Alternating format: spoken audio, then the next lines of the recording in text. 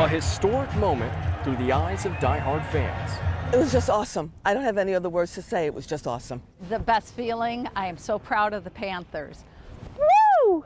Panthers fans from all over are sharing their stories. It was absolutely incredible. I mean, Take David, for example.